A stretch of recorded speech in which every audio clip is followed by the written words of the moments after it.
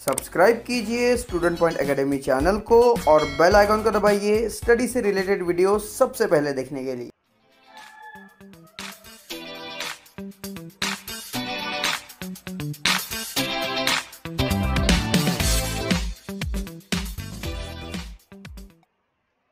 Hi dear students welcomes you today we are going to learn lesson number nine standard fourth EVS Lesson number 9 is air.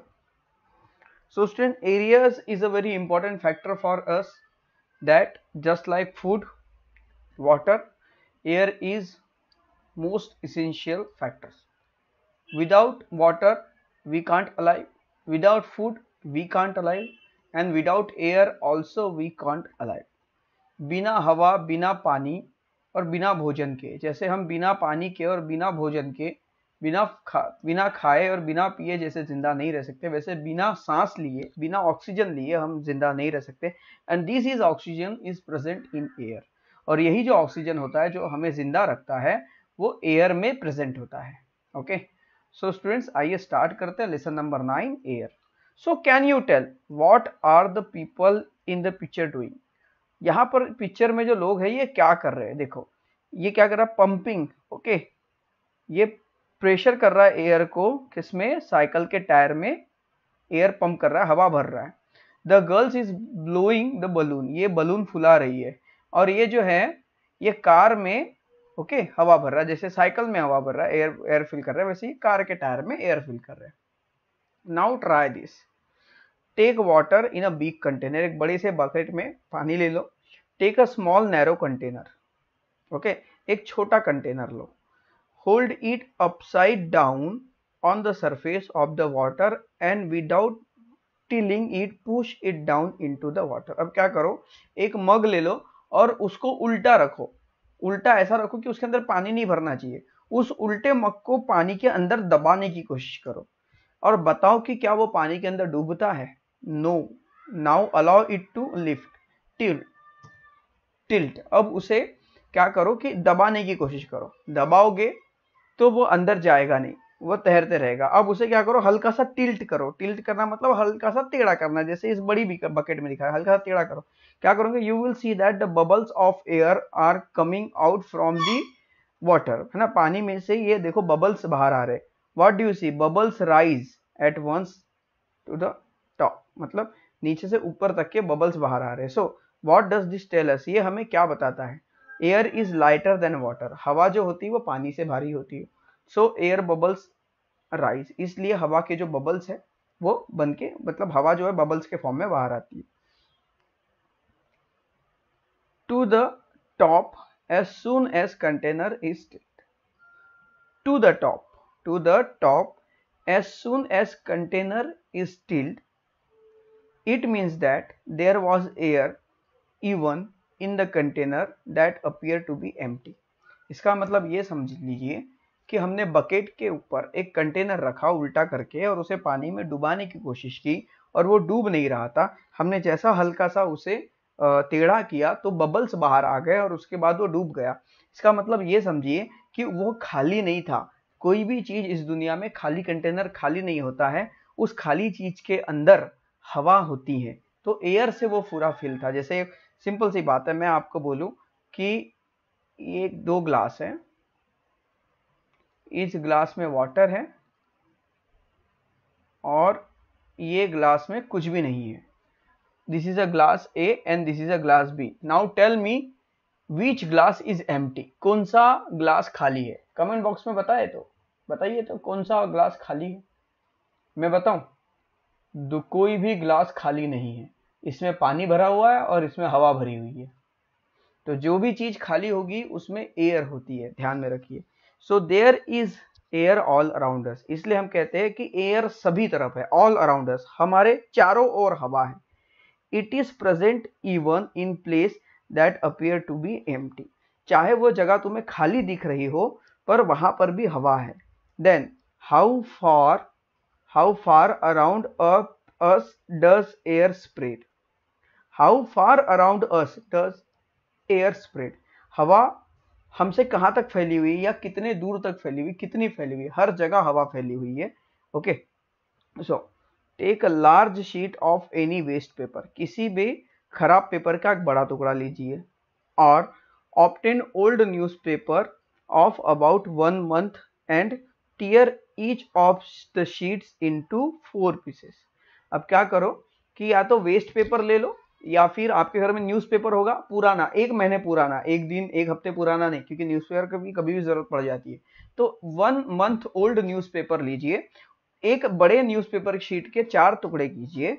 Now place the sheets of paper one at a time in a pile on the floor उसके बाद करो, क्या करो? Now place the sheets अब ये जो sheets है paper की, ये एक जगह रखो one at a time in a pile on the paper okay?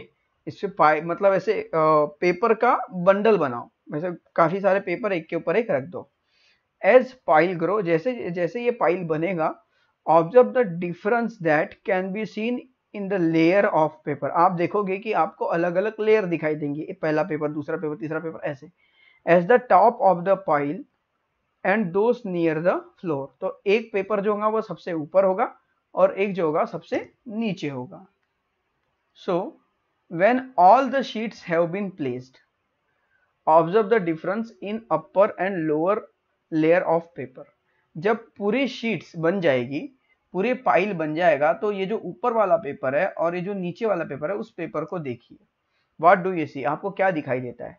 As we place more and more paper on the pile the sheet at the lower level are pressed down by the sheets about them मतलब कि जितने paper हम एक के ऊपर एक रखते जाएँगे तो सबसे नीचे वाली जो शीट है, वो फ्लैट फ्लैट होती जाएँगी, चपटी होते जाएँगी, नीचे नीचे दबती चली जाएगी।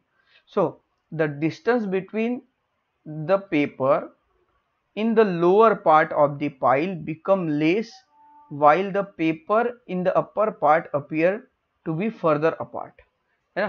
तो धीरे धीरे वहाँ पे जो है, उसके ऊपर जो प्रेशर बढ़ता चला जाएगा। So what does this tell us ये हमें क्या दिखाता है? क्या सिखाता है? The nearer a sheet of paper is to the floor the greater is the number of paper above it. It means that lower layer bear more weight than the upper layer. इससे हमें ये पता चलता है कि जो paper सबसे नीचे रहेगा, उस पेपर के ऊपर, इन सभी पेपर का वेट पड़ता रहेगा। तो इसके ऊपर सबसे ज़्यादा वज़न आ जाएगा वेट आ जाएगा। So compare to that the upper layer bear less weight तो अब पता चलेगा कि ऊपर वाला जो पेपर है और नीचे वाला पेपर ये इस पर कुछ भी वज़न नहीं पड़ रहा, सबसे ज़्यादा वज़न इस पर पड़ रहा होगा। सो द एटमोस्फियर अब आते हैं, ये बात आपको एयर के बारे में नहीं समझानी थी हमें, ये बात समझानी थी एटमोस्फियर के लिए। Okay okay? तो आते हैं अब एटमोस्फियर पर। The earth on which we live is around is a shape like a ball जिस पृथ्वी पर हम रहते हैं, वो पृथ्वी ऐसे बॉल जैसे दिखाई देती है। There is air all around the earth और हमारे अर्थ के आसपास सभी जगह एयर है ओके okay? हर जगह एयर है। This covering of air around the earth is called atmosphere और ये जो एयर है, ये अर्थ के आसपास है। और एयर ने मान लीजिए ये अर्थ है और अर्थ के आसपास ये जो लाइन बना रहे हैं हम, ये एयर है। इस एयर ने अर्थ को कवर करके रखा है। जैसे मान लीजिए हमने यहाँ पे अर्थ बनाया, ये हमारी अर्थ है, इस अर्थ के आसपास एयर है, ऐसी। ओके ऐसी। ऐसी अलग अलग अलग अलग है। ओके काफ़ी सारी एयर के टाइप है यहाँ पर, उस एटमॉस्फेयर में। ओके तो अर्थ के आसपास, ये जो डार्क ब्लू कर रहे हैं हम, ये अर्थ है। और ये अर्थ के आसपास जो लाइनिंग बनी है, ये एयर है। तो ऐसी काफ़ी सारी एयर्स हमारे अर्थ के आसपास, ऐसा एटमॉस्फेयर हमारे अर्थ के आसपास बना हुआ है। इस एटमॉस्फेयर ने अर्थ को बंद करके रखा, एक जगह कवर करके रखा हुआ है। As we go further from the earth जैसे जैसे हम अर्थ से फार्दर मतलब दूर जाएँगे, ऊपर जाएँगे फार्दर मतलब दूर। जैसे हम अर्थ से दूर जाएँगे, अब अर्थ से दूर मतलब कहा जाएँगे? ऊपर। ओके लिफ्ट अप जब होंगे the layers of earth become thinner तो अर्थ की जो जो एयर की जो लेयर होंगी, वो थिनर थिनर होती चली जाएगी। हम अभी सबसे नीचे हैं। यहाँ पे देखेंगे, हम सभी, हम अभी सबसे नीचे अर्थ पे है। तो हम जब अर्थ पे है तो हमारे ऊपर अर्थ के ज़्यादा प्रेशर है, क्योंकि जो एयर है, वो बहुत ऊपर तक है, बहुत ऊपर तक है। समझ लीजिए, यहाँ तक है। तो हम यहाँ पर है। तो ये एयर का दबाव, इतनी पूरी एयर का दबाव हम पर यहाँ पर पड़ रहा है अगर हम यहाँ पर खड़े फिर से एक बार बताओ मान लीजिए look at this this is earth okay ये अर्थ है। आप हवा को ऐसा मत समझिए, हवा काफ़ी भारी होती है, हल्की नहीं होती, क्योंकि जब बहुत सारी चीज़, जैसे हम देखेंगे कि जैसे आपने रुई देखा होगा कपास कॉटन कॉटन बहुत हल्का होता है, पर कॉटन को अगर हमने बोरे में भर दिया तो आप उठा नहीं पाएँगे, क्योंकि वो बहुत भारी हो जाएँगे, क्योंकि क्वांटिटी हो जाएँगी ज़्यादा। तो यहाँ पर देखो, मान लीजिए इफ़ यूर स्टैंड हियर आप यहाँ पर खड़े तो एयर का जो प्रेशर है, वो जो अर्थ के आसपास है और ये एयर का जो प्रेशर इतना नहीं है। ये काफ़ी ऊंचाई तक है, काफ़ी दूर तक है। अब इतना पूरा एयर का प्रेशर ये आपके ऊपर पड़ रहा है। तो जैसे जैसे आप ऊपर जाएँगे अर्थ का प्रेशर कम कम होता चला जाएगा। मतलब भारीपना कम होता है आपको हल्का हल्का लगेगा। That is why the layer of air closest to the earth are very close to each other तो इसलिए जो अर्थ जो एयर हमारे अर्थ के पास है। जैसे ये पूरी एयर है अलग अलग लाइन जो एयर की दिख रही है। तो जो एयर हमारे अर्थ के सबसे करीब है, वो एयर बहुत ज़्यादा क्लोजेस्ट होती है, इसलिए हर जगह वो भरी हुई होती है। While the ones at higher level are not so close the air at greater heights are rare तो जैसे जैसे हम ऊपर जाते जाएँगे, हवा जो होंगी, वो रेयर होंगी मतलब कम कम होती चली जाएगी। ऊपर हमें फिर एयर प्रेशर नहीं मिलेगा। ये बात आपको समझ में आ गई, ये होती है एटमॉस्फेरिक एयर उसके बाद देखिए try this take a slightly deep dish like saucer okay एक सॉसर ले लीजिए. ओके स्टैंड अ कैंडल अब इस कैंडल को यहाँ पर देखिए, खड़ा कर दीजिए और फिर उस डिश में वाटर डाल दीजिए. देखिए, यहाँ पर पानी देख रहे हैं. ओके अब कैंडल को हमें जलाना है. ओके कैंडल को क्या करना है? हमें जला देना है. Now place the glass tumbler over the candle अब क्या करेंगे? एक स्टील का ग्लास लेंगे। आप देख रहे हैं, आपने क्या किया? पहले डिश को वाटर पहले यहाँ पे कैंडल खड़ी कर दिया, बाद में आपने इस डिश में वाटर डाल दिया। फिर आप क्या करेंगे? ग्लास को उल्टा कर देंगे। आप कर सकते हैं, बहुत ही सिंपल एक्सपेरिमेंट है, उल्टा कर देंगे और इस ग्लास को डिश पर उल्टा करके रख देंगे। जैसे ही आप देखेंगे तो यहाँ पर जो कैंडल है, ये कुछ देर तक जलेगी दो चार सेकंड तक जलेंगी और उसके बाद ये बूझ जाएगी। ये जब तक के जलते रहेगी, जब तक ये जलते रहेगी, तब तक ये क्या करेगी? यहाँ वाटर जो डिश में जो वाटर है, उसे ग्लास में ले लेगी। अब आप देखेंगे कि ग्लास उल्टा रखा है, पर डिश में से वाटर कम हो गया, पर जो, ये जो वाटर है, ये ग्लास के अंदर आ जाएगा। ओके अपने आप अंदर आ जाएगा। अब ये हुआ कैसे, ये जादू? ये जादू नहीं है। जो फ्लेम है, आग है, उसे जलने के लिए चाहिए ऑक्सीजन क्या चाहिए स्टूडेंट्स ऑक्सीजन ऑक्सीजन कहाँ पर होता है? एयर में। बिना हवा के मतलब बिना ऑक्सीजन के, जैसे बिना ऑक्सीजन के हम ज़िंदा नहीं रह सकते, वैसे बिना ऑक्सीजन के आग नहीं जल सकती। तो इस आग को जलने के लिए ऑक्सीजन की ज़रूरत थी। जब तक ये खुली थी, उसे काफ़ी सारा ऑक्सीजन मिल रहा था चारों तरफ़ से। इसलिए ये फ्लेम जल रही थी, कैंडल जल रही थी। अब जब इसके ऊपर हमने ग्लास कवर कर दिया तो यहाँ पर ऑक्सीजन की कमी हो गई। तो ये कैंडल तब तक जलेगी जब तक इस ग्लास में ऑक्सीजन है। समझ में आ रहा है? जब तक इस ग्लास में ऑक्सीजन है। तो इस ग्लास में जितना ऑक्सीजन भरा हुआ था, उतना वाटर इसके अंदर आ जाएगा। क्योंकि वो जगह खाली हो गई ना तो ध्यान में रखिए, इस दुनिया में कोई भी चीज़ खाली नहीं होती। जो खाली होती है, उसके वैक्यूम कहते हैं। और जो जो वैक्यूम होता है, वो खाली मतलब वैक्यूम के बारे में मैं आपको अभी नहीं एक्सप्लेन कर पाऊँगा, क्योंकि वो आपको नहीं समझ में आएगा वैक्यूम क्या होता है। पर वैक्यूम ऐसा समझ लीजिए खाली जगह, जिसके अंदर कुछ नहीं है, हवा भी नहीं है, उसे ही हम वैक्यूम कहते हैं। तो इस दुनिया में कोई भी चीज़ खाली नहीं रह सकती, जहाँ पर भी एयर प्रेजेंट है, हमारे अर्थ की अगर बात करें तो कोई भी चीज़ खाली नहीं रह सकती स्टूडेंट बिल्कुल खाली नहीं रह सकती। ओके, अपने आप तो खाली नहीं रह सकती।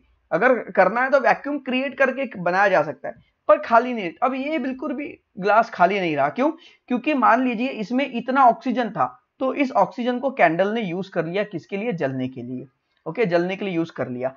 और जैसे जैसे ऑक्सीजन यूज़ होता गया, ये, वो ऑक्सीजन जलता गया। जैसे जैसे ऑक्सीजन जलता गया, वो ग्लास में से ऑक्सीजन खाली होता गया। जैसे जैसे ऑक्सीजन खाली होता गया, उस खाली ग्लास में पानी भरता गया भरता गया।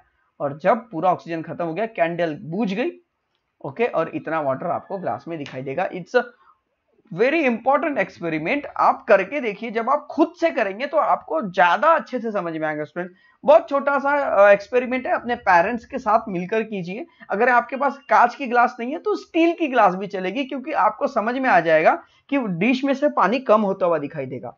Okay? Please, it's my request, please do it. इसे करके देखिए। प्लीज़ इसे करके देखिए। Now what do you see? Okay ये तो हमने पता कर दिया कि भाई यहाँ पर क्या होने वाला है। And why does this happen ये भी हमने पता कर लिया ये भी हमने बताया कि ये क्यों ऐसा होगा है ना? So this is constitute of air that help burning is called oxygen gas तो एयर के अंदर जो चीज़ थी ओके okay, जिसने कैंडल को कुछ देर तक जलने में मदद की वो थी ऑक्सीजन गैस जिसकी हमें भी ज़रूरत पड़ती है सांस लेने में okay so the earth atmosphere is made up of air हमारा जो अर्थ का एटमोस्फियर है, वो हवा से भरा हुआ है ओके? पूरी हवा से भरा हुआ है। The circle in this picture shows all there in atmosphere ये जो सर्कल दिखाई दे रहा है, ये पूरा एटमोस्फियर के लिए। If we divided the circle into five equal part अगर हम सर्कल को one two three four five equal part में अगर डिवाइड कर दे then the oxygen in air will be equal to one of the four तो जो oxygen होंगी, वो चार पार्ट में से, चार पार्ट के बराबर यहाँ पे जैसे एक पार्ट यहाँ पर दिखाई देगा। मतलब ये फाइव इक्वल पार्ट में एक पार्ट ही ऑक्सीजन है। इसका मतलब एयर में अर्थ में काफ़ी सारी हवा है, काफ़ी सारी एयर है, पर अगर एयर में और बहुत सारे गैसेस मिक्स है। अब इसमें अगर सिर्फ़ हम ऑक्सीजन की बात करें तो इतना ही पार्ट ऑक्सीजन का हमारे एयर में है। Apart from oxygen there are other gases in atmosphere oxygen के अलावा एटमोस्फियर में और भी गैसेस है कार्बन डाइऑक्साइड नाइट्रोजन ओके ऐसी बहुत सारी अलग अलग गैसेस है। Which could be which which could those be वो कौन कौन सी हो सकती है? आप याद कर दीजिए। Two carbon dioxide gas okay और nitrogen gas okay so the oxygen in the air is use both for breathing as well as sorry burning as well as respiration तो जो ऑक्सीजन है, हवा में, ये दो चीज़ों के लिए यूज़ होता है। जलने के लिए, जैसे कैंडल अगर कैंडल को अगर ऑक्सीजन नहीं मिलेगा तो वो जलेगी नहीं। तो जलने के लिए ऑक्सीजन का यूज़ होता है। रेस्पिरेशन मतलब हम जो सांस लेते हैं, श्वसन करते हैं रेस्पिरेशन होना मतलब श्वास लेना। श्वा ऐसा श्वास ओके सांस लेना ऑक्सीजन। इनहेल करना जैसे respiration. Which are the other use of air you know about आपको पता है हवा के और दूसरे यूजेस क्या है? सो so, चलो आइए आइए सीखते हैं। You have learn that the gas that fizz out by soda water in carbon dioxide.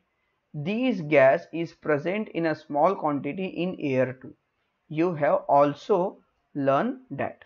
तो देखो कि जैसे आपने Sprite Thums Up Coke Pepsi soda bottle को कभी ओपन किया होगा तो जब हम उसे ओपन करते हैं तो वहाँ से बबल्स निकलते हैं और अगर हम उसे शेक करके ओपन करें तो पूरा ऐसे उड़ जाता है ऊपर।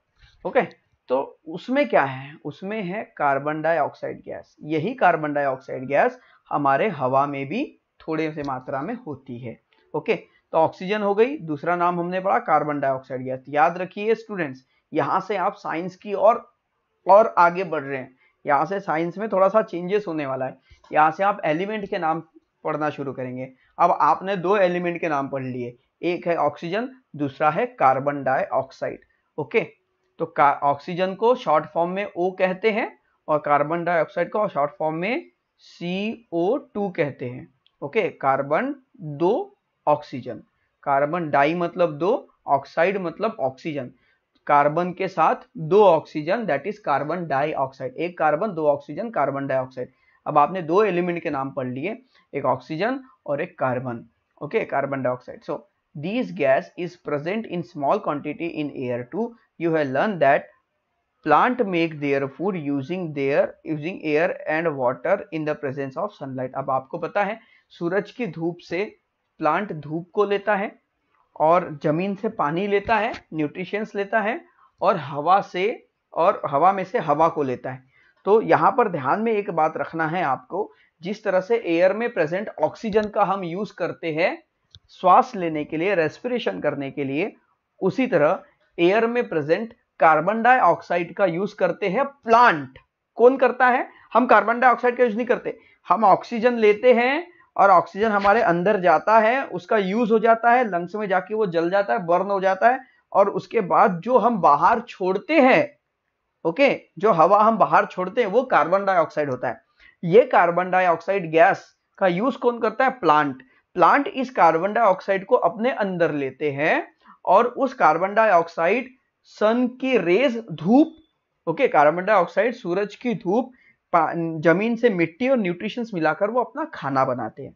पेड़ अपना खाना अपने पत्तियों में बनाते हैं ओके और फिर जब वो पत्ती पीली हो जाती, सूख जाती तो उसका खाना खत्म हो जाता है और पेड़ उस पत्ती को नीचे गिरा देता है ओके ये उनकी प्रोसेस होती है। तो यहाँ पर हम यूज़ कर रहे हैं ऑक्सीजन का और प्लांट यूज़ कर रहे हैं कार्बन डाइऑक्साइड का okay now when plant make their food they use carbon dioxide from air जब प्लांट अपना खाना बनाते तो वो हवा से कार्बन डाइऑक्साइड लेते दो गैस के बारे में हमने पढ़ लिए you have seen that when you place ice on glass and become very cold droplet of water settle on its outside it means that water too is present in air in the form of gas हमने इसका experiment आपको बताया भी था। Third standard में जब हमने पढ़ाया था आप एक काम कीजिए, एक ग्लास लीजिए। ओके ये ग्लास हमने ले लिया।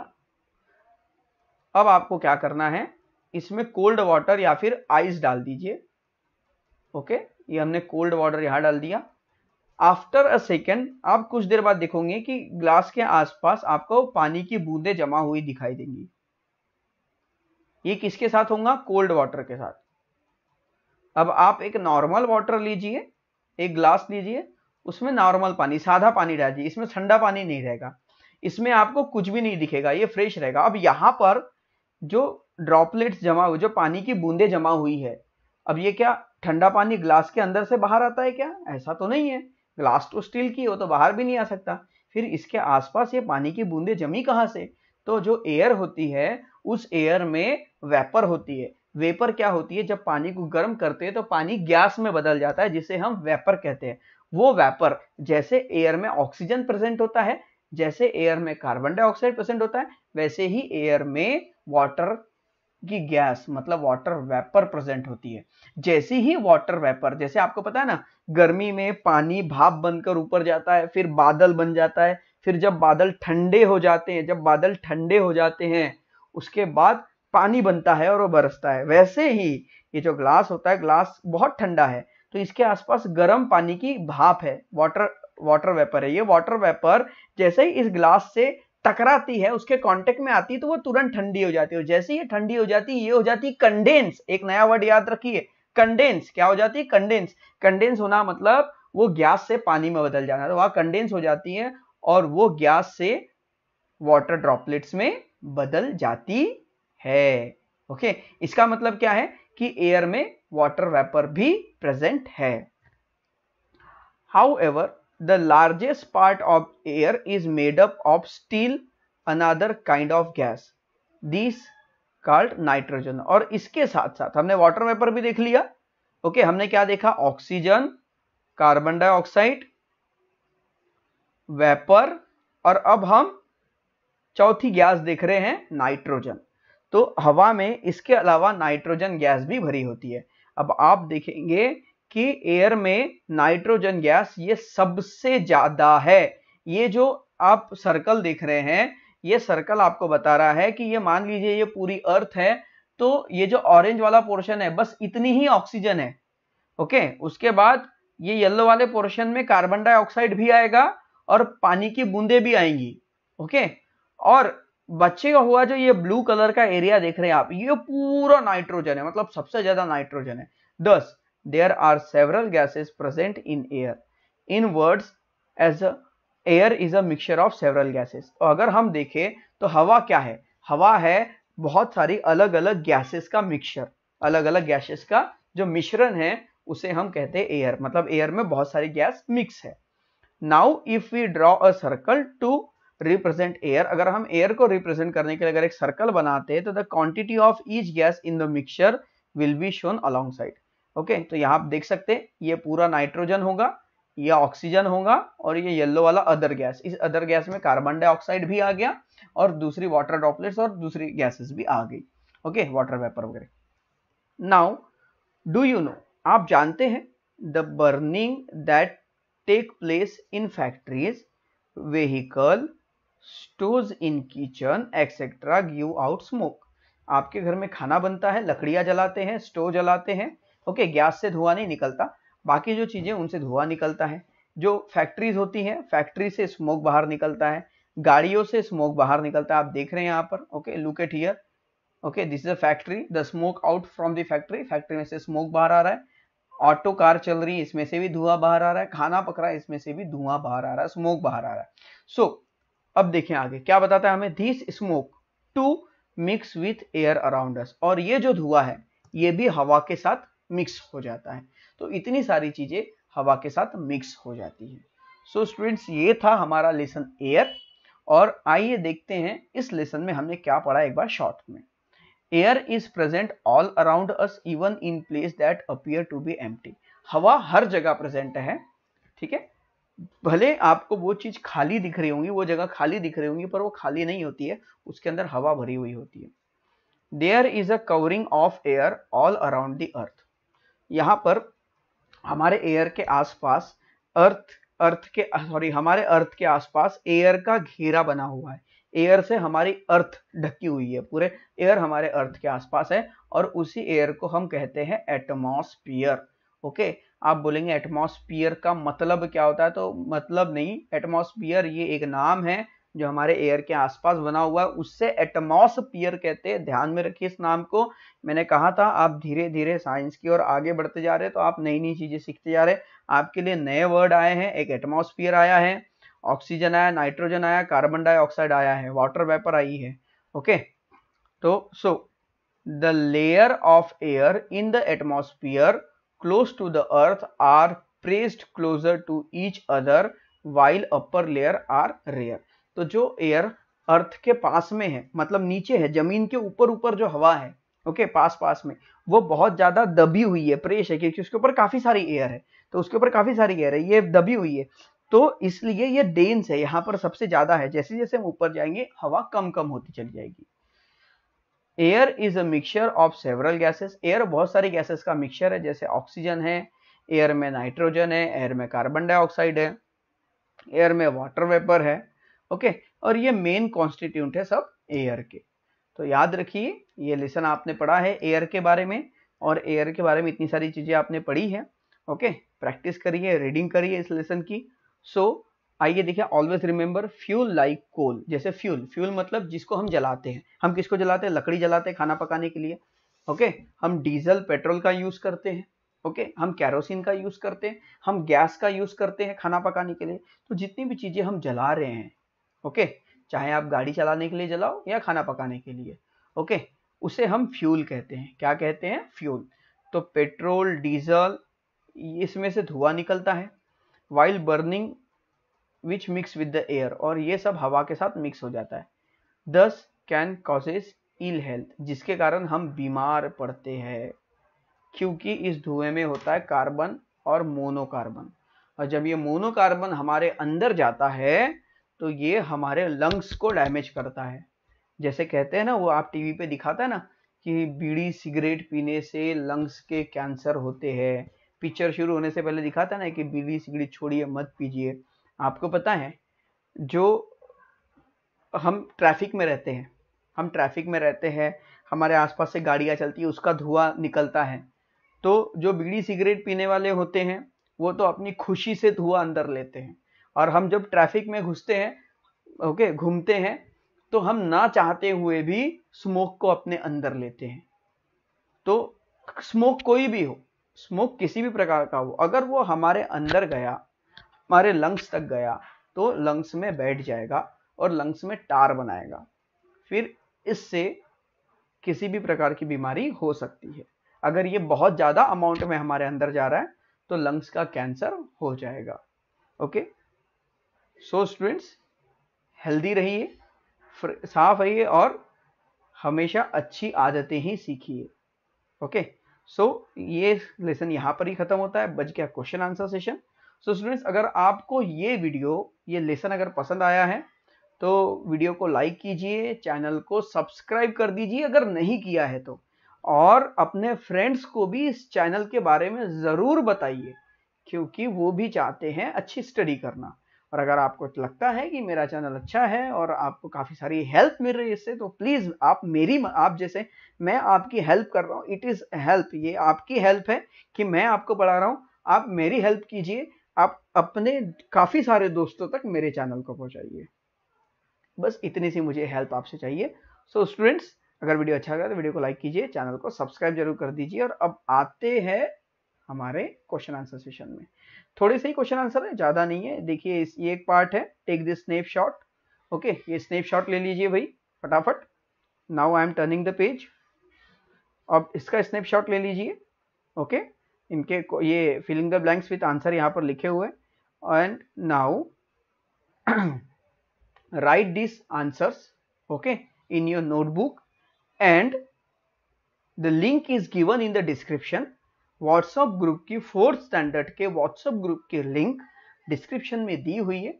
उस लिंक पर जाइए टैप कीजिए ग्रुप में ज्वाइंट हो जाइए।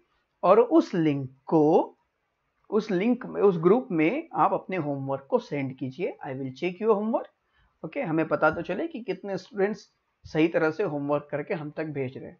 तो वीडियो को लाइक कर दीजिए चैनल को सब्सक्राइब कर दीजिए। मिलेंगे अगले वीडियो में लेसन नंबर टेन के साथ। Till then bye students